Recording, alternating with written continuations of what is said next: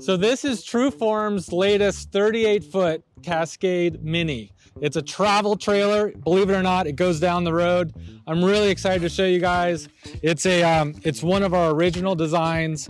And I mean, we're starting out here on this rooftop deck.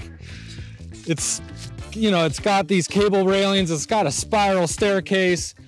I see myself up here having a, a beer or a lemonade, just enjoying the evening. This is a, um, it's a tough one to top. So I want to show you the guys the rest of the tiny house down below, but take a look at this thing. Here we go. Let's go down this staircase. Lots of access. Light switch on the bottom. Beautiful little accents here. We've got our um, cedar shingles. Real cedar. We don't kind of mess around with that. Beautiful windows, a lot of detail, and kind of a craftsman style front porch and of course our custom made um, staircase. So why don't we go take a peek? So welcome to inside this tiny house. Um, we've got a 38 footer, remember, so we have a lot of space in this, this living room, this kitchen. Um, I say first thing off, I noticed is that this um, the wall covering and the ceiling, it's all a shiplap, so it gives that cozy kind of like it's real wood. It's not a it's not a synthetic product. So I think it shows really well. And of course, the little beams, the timber beams in the top and the ceiling pop, um, they play a little bit against the flooring as well. So there's that balance of, of white, um, wall boards and wood wood accents that really pop in this space. I also really love, of course, how wide open this end is. As you can see, this is open right now. It's a door that pivots and opens up completely. It's called our bifold exterior door.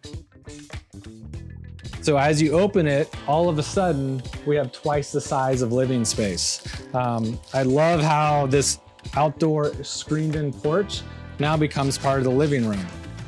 We have it as a seating area, awesome little kind of kitchen or like a little breakfast nook space or, you know, just if you want to hang out there um, and enjoy the outdoors.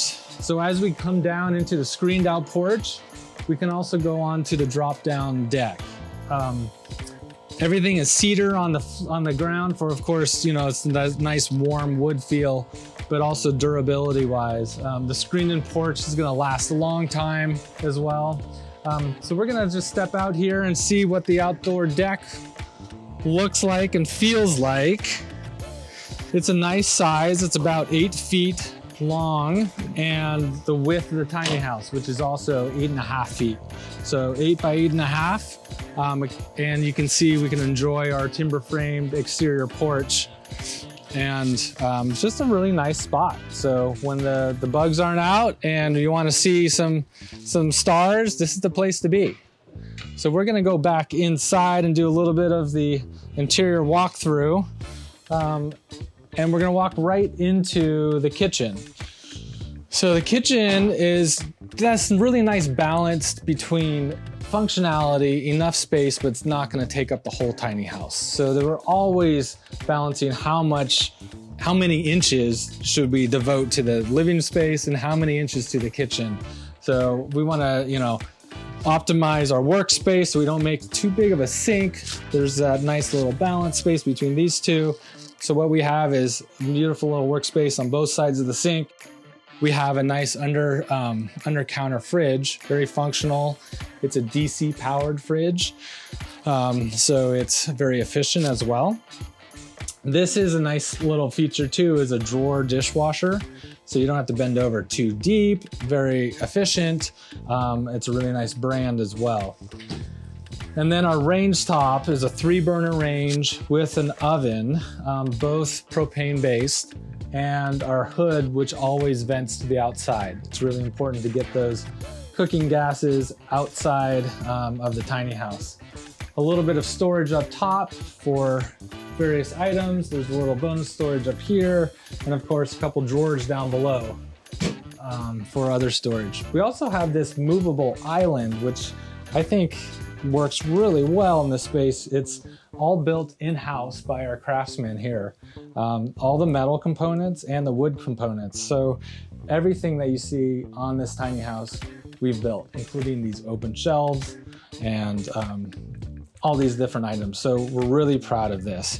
It is, like I said, movable, so you could move it to the side if you wanted to have more space in the middle. That's always important in a tiny house design is to have it multifunctional. So that is one thing that we definitely recommend is movable items, especially in the middle. And then we're gonna go take a look at the, uh, the hallway here, which kind of opens up to the bed area and the um, utility space. We have a little closet as we walk down. But underneath here is where our client really wanted her bed. So it's, it's a queen size bed. It's a full width. The mattress takes up the full width of the space and the length, but it's, we wanted to make sure there's enough light. So there's a nice egress window right there that also provides a lot of light. There's a lot of light on our ceiling for um, our LED light. We actually have light underneath the steps. so it just, it's a nice little warm place to sleep. The reason why we put it down below is it allows the loft above it so you can actually stand up in loft. Um, she wanted to be able to store her clothes and get ready in the morning and also do her laundry up there. So it's really nice little balance between the two spaces. Totally fun, totally unique. I love it. Um, and it really worked out. While I'm here, there's this step in this floor that actually turns into a bit of storage space. So that's, you know, any opportunity you can get, um, make it make it a place where you can put stuff. Let's take a look at the bathroom. The bathroom has not only a shower with this glass enclosure with our champagne fixtures, but it also has a bathtub. Now the bathtub has it's framed out with the, the glass, the outside there, so you can imagine um, bath, you know, bath time, nice, nice view. It's really kind of open and airy. Um, we have a nice size of uh, vanity as well. So this little space turned out really nice. Um, a lot of attention was paid to this space too. I mean, the light fixtures, for example, the champagne fixtures for the, the faucets, um, that was really important to our client. So I'm, I'm um, really happy on how this turned out.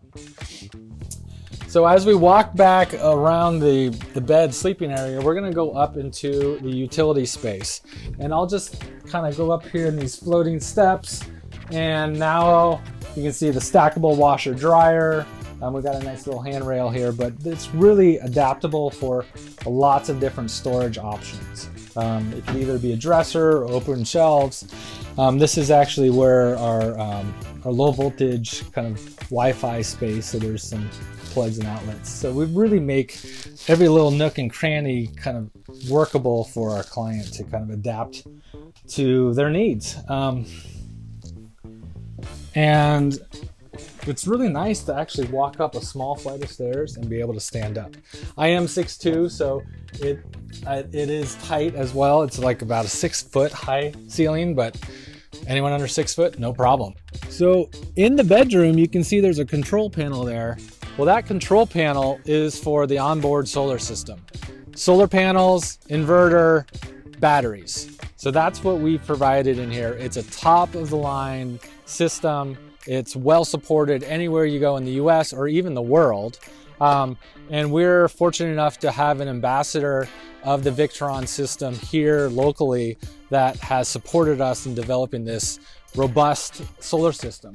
We've got this is our standard RV inlet for electrical, but in this door is where all the batteries, the inverter, and the solar charger live. Um, we do have this pull-out drawer that houses the batteries. It can actually, you can actually put more batteries than we have in it. Um, but right now there's four nice sized batteries in there. We have a solar charger, an inverter, and our DC to AC components. As you can see, it's really accessible. There's a good amount of ventilation and there's good access. All very important in designing a, an effective solar system. And then as you can see around the front here, I wanna show you where the solar panels are, but even more important, I wanna show you this view on top of this deck because that is where we started and I can't get enough of it.